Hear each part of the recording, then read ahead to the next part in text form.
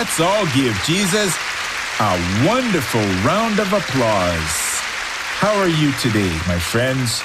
God is good and simply amazing.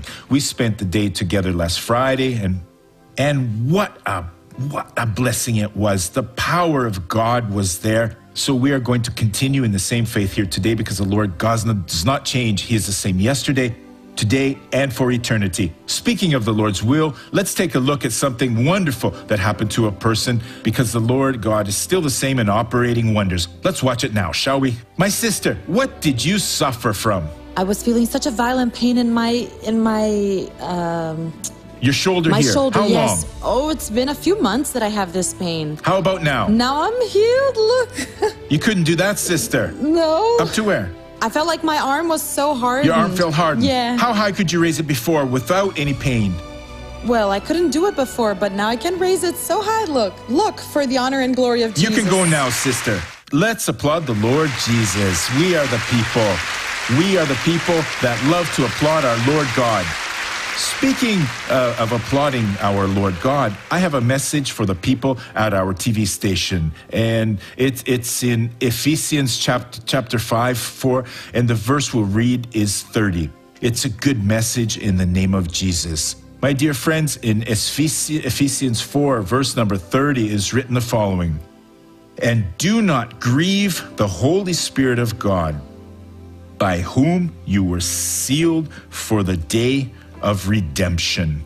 There are two important things right here. The first thing is that we should never grieve the Holy Spirit of God. And how do we grieve the Holy Spirit of God? We grieve Him when we follow the path of sin. But for the glory of God, I am not. Amen. So you're not grieving Him. But we grieve the Holy Spirit when He ordered when he ordered Paul to write something, for David to write something, and many others who were used to write something, and the and the revelation is registered in the Bible, and we don't pay attention to the revelation. And then you then you come to church or watch the Faith Show, and God calls your attention to a blessing about a right that you have, folks, but you don't take hold of that. So what was the use? You grieved him. He taught you for what? Because he is ready to do that for you. Romans 8:11 says that the one of the missions of the Holy Spirit of God is to convince us of the justice, sin and judgment, to guide us in the truth, speak to all those who can hear, and also to give life back to our mortal bodies. That is that is written in Romans 8:11 it is not talking about spirit. It's talking about our mortal bodies. So if we don't believe there is no way uh, he can give back our body. So what do we have to do we have to fight. No we have to believe because if we believe we will see the glory of God. The holy spirit is God father son and the holy spirit. And when we believe this he becomes the spirit of truth.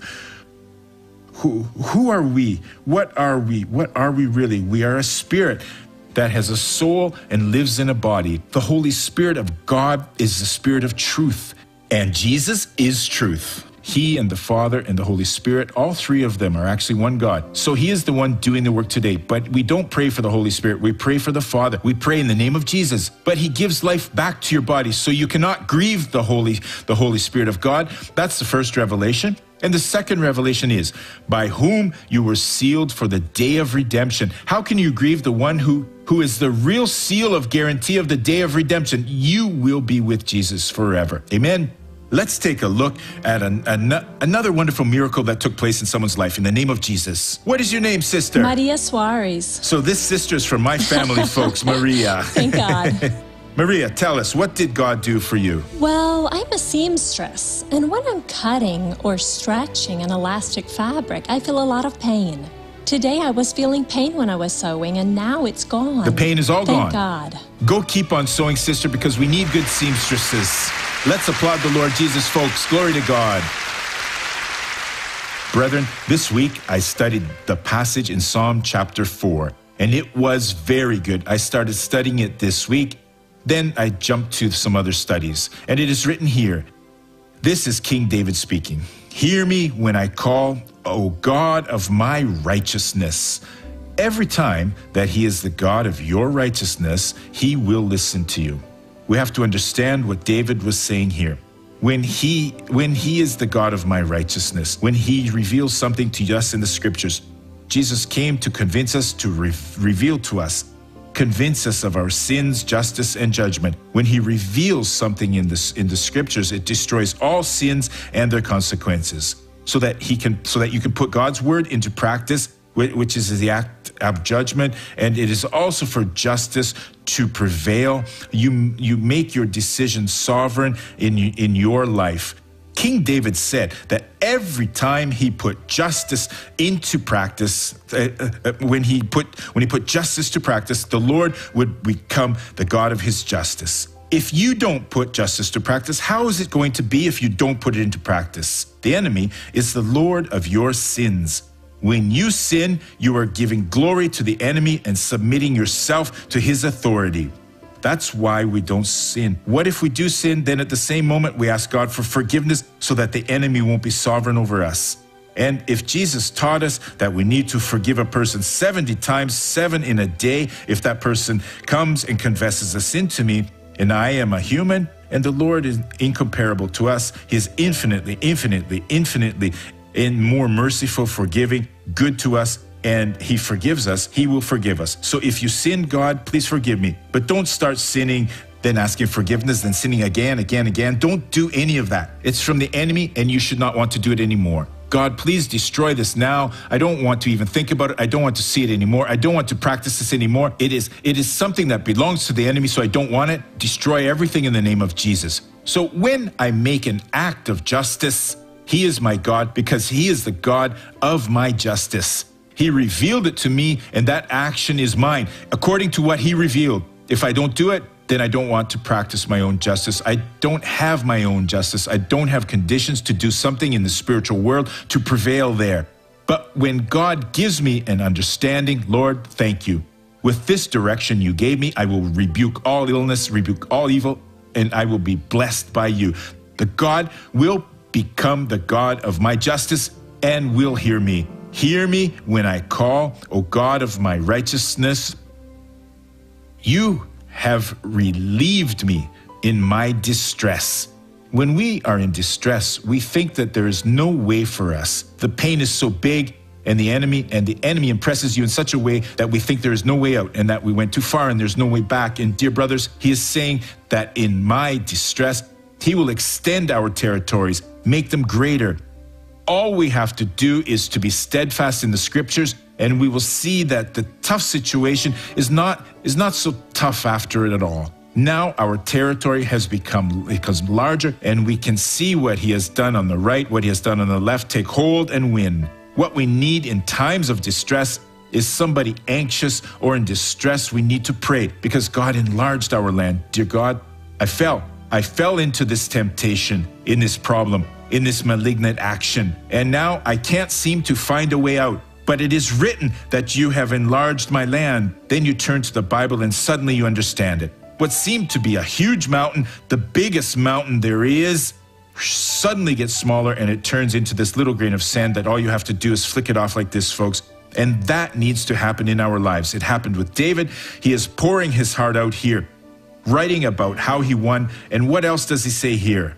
Have mercy on me and hear my prayer. What can we learn from this? We need to be humble before God. In these 61 years of faith, I have I've seen many people show up as some kind of beautiful beautiful comment that would come and go away and it was all just a cloud of sand of sand there there was no essence inside they were just very empty you have to remember that you are a human being you are flesh Jesus told us to be diligent and pray so that we may not enter into temptation. There is no use in listening to the flesh. We might start giving into pride in our life, but there's no way at all. All of this comes from the enemy. It's a trap. And how does a person start falling into these traps when he, he thinks they can associate with someone dishonest or, or, someone who does not respect the word of God? No, no, I, under, I understand. I know how things work. You don't understand anything. The Bible says that those who say they belong to God, but does certain things that are not, I can't even eat with them. I have to be separated with them. I have to consecrate myself myself. Just like Samson, Samson thought he was my son. This woman is no good for you at all. She's the first, but I really like her and I want to be with her. He had a series of problems. Later on, Delilah And it doesn't matter how nice the person seems to be, she's phenomenal. She's everything I wanted. It's not just you, or even another sinner also wanted her. People who stand out receives a lot of attention. But the little fool thought that that that, that now was his moment, and Samson became blind. And the Bible doesn't talk about just women, but also opportunities in life. And the person trades the Lord for an evil demon. Paul talked about Demas when he left everything because of sin. And how many people are going to see what he was the prodigal son that abandoned all of the Lord's protection and threw himself in the world to suffer, to be disappointed, and to sin when he should really be steadfast with the Lord God and with the scriptures and be victorious in every situation. So he finally realized this and said, Have mercy on me and hear my prayer. Brethren, if you are not feeling that you need to pray at all, if you are not feeling that that that you are straying away, you actually need to pray a lot, folks, because the world is corrupt and it fascinates. The doors are wide, it's very attractive. You look one way and see everything, they accept absolutely anything. The world will never rebuke you of anything. The world will the world will approve anything you do and you are falling into the hands of the enemy. And every day Jesus says that anyone who wants to follow him should deny himself and carry their cross. That is our mission. Remembering who we are is and was ordered to do so. And do it so that you won't be knocked down no matter what. God, uh, uh, God, God will surely hear you when you cry out to him as long as he is the God of your justice. In verse number two, it is written this How long, O you sons of men? He's talking to me, to you, and everybody who was born in this world. Will you turn my glory to shame, in embarrassment, in pure shame? How long, how long will you love worthlessness and seek falsehood? Brothers and sisters, the glory of God has to be sought out. It, it, it is it, the light that our soul needs right at this moment. It is the discipline that our souls need right now. It is the teachings that we need to understand so that we won't do anything wrong and we will do what God wants to be done. So while we are not seeking the glory of the Lord, rather turning it into some shame, things go from bad to worse until one day the enemy comes with a fatal blow to you, and then you lose all of your faith. Your faith is way down there, and the problem is all the way up here, and you won't have enough time to climb all the way up there. You will be left behind and be lost for all of eternity. Take a hold of Jesus today. Never let go of Jesus. Take hold of your position. Cry out to God because he will give you the victory. How long, Son of Men? How long, O you sons of men, will you turn my glory to shame? God gave glory to everyone who hears the message that he gave that which you felt and feel when you listen to the word of God. You learn what the Lord can do with and through you. The contrary to any lies the enemy told you, because the devil will say that you have no conditions, that your family is no good, that you act this way, that way. Don't believe in the enemy. Believe in God. Because if you don't, then you are turning all of that glory in God gave you through his revelation into a shame, folks, into an embarrassment. And you will pay, and you will pay a very high price for that. And it will it will cost a lot because you are opening yourself up to the enemy. I'm not saying that God is vindictive. Oh, yeah, let me send that person a little bit of cancer. God will never send you any kind of cancer. No, God does not send any kind of disease into your life. He doesn't send anything because God's love for us is great. But when you disdain the glory he has given to you, and not just just a disdain, but turn into shame and embarrassment, you suddenly think that you are great and, and, and all that. Speaking of someone who is optimistic, that there are others who are really, really, really pessimist. Oh, there is no way. How can you say that there's no way if God has spoken about you? You have to believe. You need to have faith. Fear not, for I am with you. Be not dismayed, for I am your God. I will strengthen you. Yes, I will help you. I will uphold you with my righteous right hand. You don't have to do anything more than submit yourself to the Lord and lift yourself up. The plan that you felt was not some kind of emotional experience. No, Oh, I, I, uh, I will be used. I will be used in the name of Jesus. I will seek the Lord. I will always be steadfast in God and I will overcome any type of obstacle because I belong to God in the name, in the name of Jesus. And the obstacle might be very big for you, but it's a challenge for you. Fear not, for I am with you. Be not dismayed, for I am your God. I will strengthen you. Yes, I will help you. I will uphold you with my righteous right hand. How are you not going to be victorious, brethren? How can you be defeated, folks? This is God speaking to our hearts today. How long, O you sons of men, will you turn my glory to shame? into embarrassment. Don't ever do this because God's glory is to give you victory in Him. Don't let anyone discriminate me for no reason whatsoever because you are the person, the being that the Lord wanted you to become when He called you in the name of Jesus. And He goes on saying here, how long will you love worthlessness? Forget worthlessness because everything will pass. Worthlessness, vanity, everything is vanity, like the preacher said in Ecclesiastes. How long will you love worthlessness and seek falsehood? Always seek the truth, brethren. Always love to seek the truth, the reality, and love the one who can turn you into a great blessing. Yes.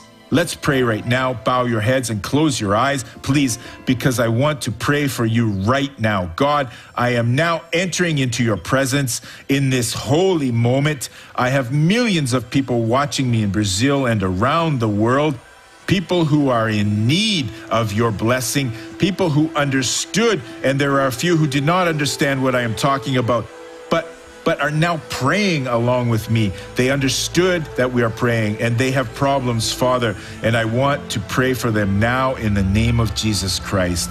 God, in the name of Jesus, extend your hand to those people right now. Come bless them, come heal them, come deliver them. My God, these people are asking for your grace right now.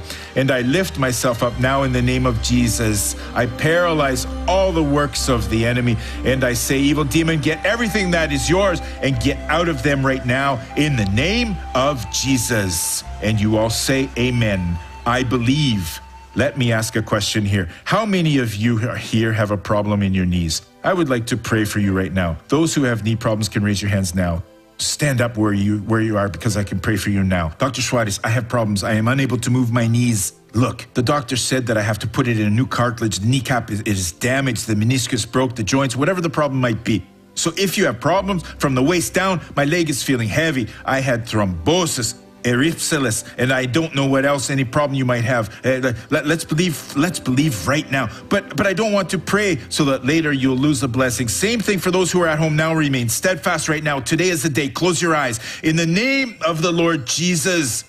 I am now entering into your presence and I am entering courageously so that these people can be delivered. I will now use the authority that you have given to me in the name of Jesus and the enemy will re- be rebuked right now. And now I ask, O oh Lord, that you personally come and their knees, their joints, their cartilage, the meniscus, Lord, anywhere the evil might be at, in the front, the back, in the posterior, God, it doesn't matter where the problem is. I will use your power and over by the ankle, Lord, over by the waist, the leg that had thrombosis, Lord, that had erysipelas, and the person suffers from this now. But now, God, O Lord of my justice, I use your authority at this very moment. I paralyze all the actions of the enemy, and I say, Evil demon, your time is finally over. Grab everything that is yours and get out of here. I am not asking you, I am demanding you right now. I am speaking in the name of the Lord Jesus Christ. In the name of the Lord Jesus, get out of these people. In the name of the Lord Jesus, Go away from that person in Jesus' name. Oh, oh, oh, Lord Jesus, it, it is your name. I declare that these people are healed for your honor and your glory. And you all say, Amen. I believe, Lord God. Now do everything you couldn't do before. Do everything. Don't be afraid. Don't allow shame and embarrassment take the place of God's glory. Dr. Soares, it was in my knees, it was in my ankles, it was here in my hips. I have been delivered now. Don't don't sit down, folks, because the Lord is not done working on you yet in your life. Oh, Son of God, He is healing you right now. Who can say that the Lord has already healed? There's a lady right there. Go to that lady, will you? What is it, sister, with you? It's been over 15. She's so emotional, folks. It's been over 15 yes. years that I have used this here, custom made. What is that, sister? Custom made insoles. Uh-huh. Everything is written here. Uh-huh. The other pastor was there. Uh-huh. We were we were what, praying. What was he saying? What was this? Keep, keep we talking. prayed together, and he kept saying, "Be strong in the uh-huh. Lord." And now keep my healing is complete. My ankle is keep, fine. Keep talking. And thank God I don't need healed. this anymore. Oh, glory to God. She is so emotional. Thank you, Jesus. Oh, glory to God. What happened to you, sister? My knee has been hurting for a week now. One week. Yes, when I go downstairs, it The- the- hurts. the- and when I got here, it was hurting. The pain is gone. but now it's all gone in the It's name coming of down Jesus. the stairs. The pain yes, is gone amen, now. Jesus. Amen. Glory to God. Who else got better in her in the name of Jesus? Brother here up front. You can't be embarrassed, folks. You can't turn God's glory into shame, folks. Stay firm because the Lord is healing. Oh, glory to God. What happened to you there, brother? Dr. Soares, for more than 15 days now, I have been feeling a really heavy weight in my leg as if I was carrying a load of bricks on each leg. And it was hurting so much that I didn't know how I was managing to walk. Uh, and now? Thank God I came here and now I'm You're healed, healed in the name, of, of Jesus. How about you, young lady? I was feeling pain in my knee. Now it's all gone. Pain in your knee. Uh huh. How, how about in the front? I had two surgeries, one in August of 2014 and another one last February.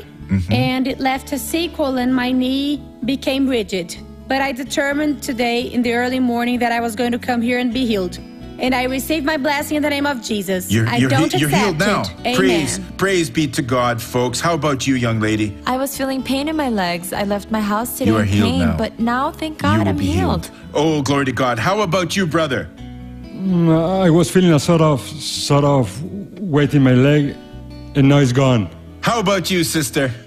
I um, felt a lot of pain in my spine, Dr. Soares, and I was healed from the pain Sick. because I don't feel anything. I went to the doctor and he said I don't have anything in my spine. But today I was feeling a strong pain in my leg.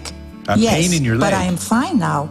Thanks be You're to fine God. now. I'm fine. How about you? You will be the last person I today. was I was feeling pain in my leg, but now it's gone. It's gone. Everyone else who has been healed, raise your hand up and say, Jesus, thank you. Let's applaud the Lord Jesus. You may sit down. Let's all watch the real life drama now, shall we?